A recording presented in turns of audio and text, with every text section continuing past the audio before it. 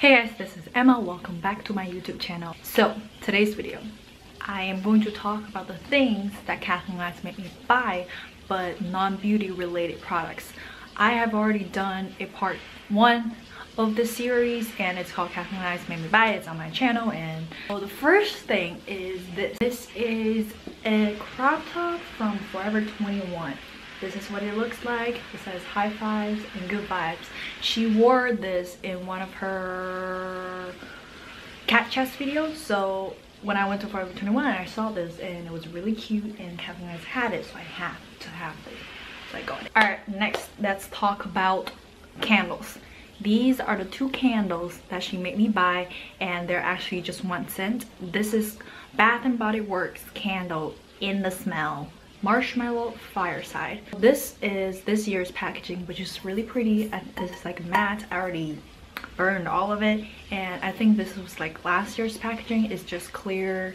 I cleaned the bottom. I store my makeup brushes in it and the fragrance notes are toasted marshmallow smoldering woods fire roasted vanilla and crystallized amber. So but yeah i burned through two of these and i'm probably going to repurchase this because it smells so good.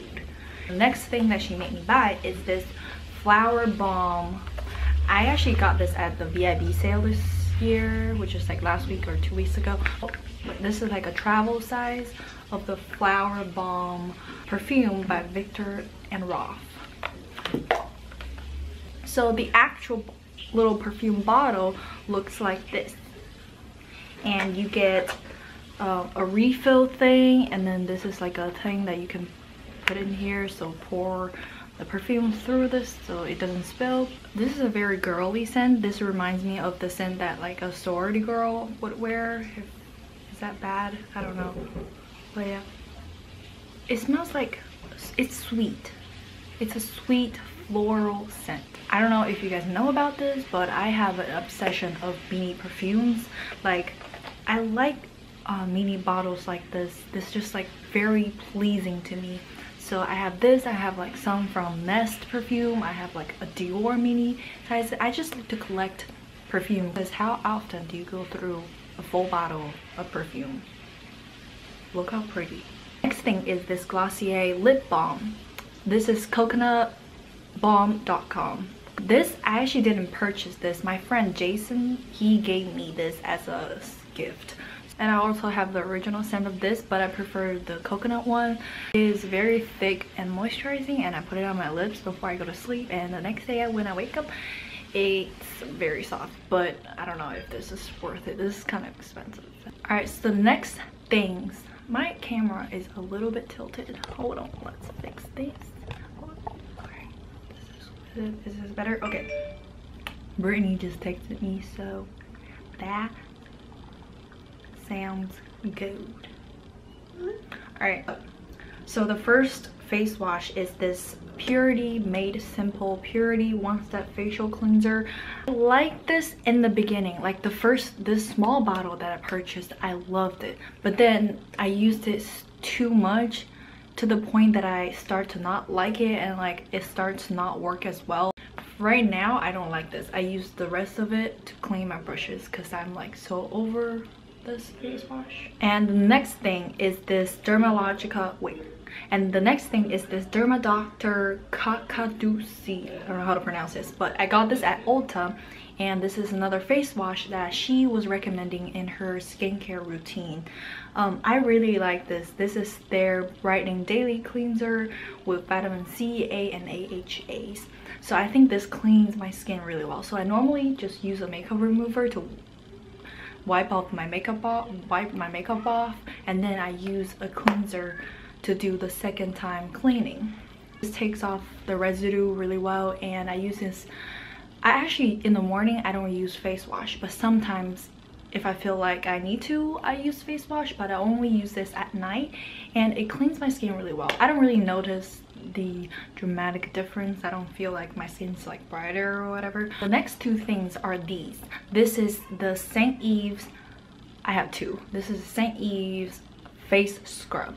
This one, I think this one is the one that she has, the blackhead clearing green tea scrub and both of these has salicylic acid. So if you're pregnant or like if you're not allergic if you're allergic just don't use salicylic acid on your skin. She prefers the green tea one but i prefer the apricot one.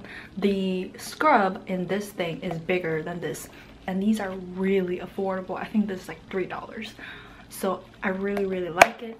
I think i also think this clears my skin a little bit right so the next thing is this Health and Beauty Indian Healing Clay Mask. So this is a powder mask. This is this is what it looks like. Every time you use it, you scoop some powder out and then mix it with apple cider vinegar and water uh, and blend it and then put it on your face and this when it dries it sucks everything from your pores but I have dry oh I forgot to mention what skin type I have. So I have normal dry dry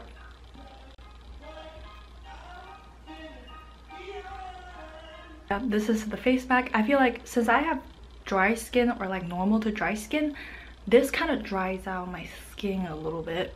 Um but it does really clean your skin really well. So if you have oily skin i would recommend this. But if you have dry skin or like normal to dry skin don't um, the next thing is this loving tan deluxe bronzing mousse i have the shade dark um, from medium to dark skin tones and this is not the two hour one. This is just like an overnight one. I really like it. Um i don't know. It kind of it kind of actually does make me look a little just a little bit orange but um when i when this fades off it's very beautiful. So in summer i use this every two weeks because it makes me tanner and I believe Jaclyn Hill was also talking about Loving Tan. I think every YouTuber really likes Loving Tan products. I like it. It's pretty good. Um, I don't really notice anything bad about it because I've never tried any other tanning lotion. Well, actually, I tried the Saint Tropez one. It, it makes me orange. I like this one better. This is just a little bit expensive and I don't know when it expires. So I don't know how long this is gonna last me. Last thing I want to talk about is this H&M nail polish. So this is in the shade Russet Spice. I think this is kind of almost like duochrome, but the brush looks like the brush is very thick. It's very easy to apply. It's very opaque. Um, I don't know if they still make this shade anymore. Their shade is very shady. Like, so that is all for what Kathleen Lights make me buy part two skincare scents candles perfume. If you like this video please give this video a thumbs up and i'll see you in my next video